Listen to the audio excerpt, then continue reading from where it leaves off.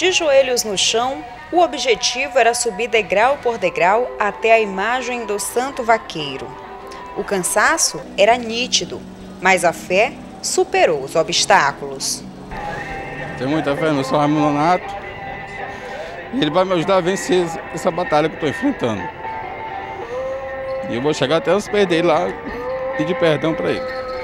Nas missas, todos de máscaras.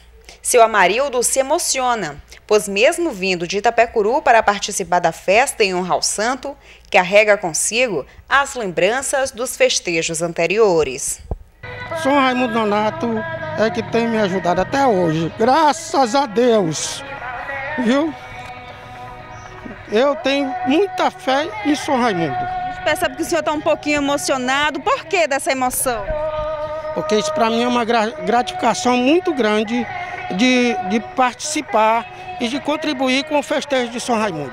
A Secretaria Municipal de Saúde disponibiliza a Barraca da Saúde, que oferta à população diversos serviços. Primeiramente, quero falar que a gente está todo festejo aqui com a Barraca da Saúde. Estamos ofertando é, é, teste de glicemia, teste rápidos.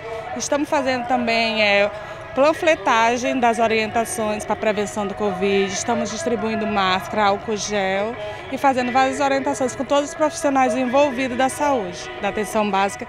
Todos os profissionais se envolveram, a gente fez uma distribuição e durante todo esse festejo estamos aqui com a Barraca da Saúde. Algumas barracas espalhadas pelas ruas da cidade mostram que a tradição não foi quebrada. As vendas não foram as melhores. Mas para os vendedores valeu a pena fazer parte do tradicional festejo de São Raimundo Nonato dos Muludus. Não, verdade, poderia estar melhor, entendeu? Mas por causa dessa pandemia aí, caiu 70% mais ou menos. O senhor já tinha vindo aqui antes em Vargem Grande? Eu trabalho aqui há 10 anos, 10 anos, entendeu? É a primeira vez que está fraco assim? Primeira vez, primeiro ano que está fraco, entendeu? Por enquanto está até bem a venda, né? Muita gente, né? E aí é o que nós queremos isso aí, entendeu? Mas você acha que deu uma caída assim em relação aos anos anteriores? Com certeza. Sobre isso aí, essa, esse vírus que veio, deu muita recaída para o pessoal. Aliás, não é só para nós, para todos. Para muitos, o festejo de São Raimundo Nonato dos Muludus deixou um aperto no coração. O vai e vem constante de pessoas titula o Santo Vaqueiro como um dos melhores festejos do país.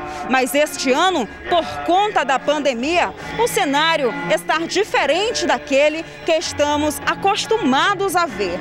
E resta aos fiéis a esperança de que dias melhores virão. Eu, tô, eu, eu conheço aqui de, de 62 tinha 12 anos, hoje eu estou com 71. A primeira vez que isso acontece aqui no festejo? No, no nosso mundo, não é no Brasil, é no nosso mundo. A primeira coisa que aconteceu, o pior foi isso.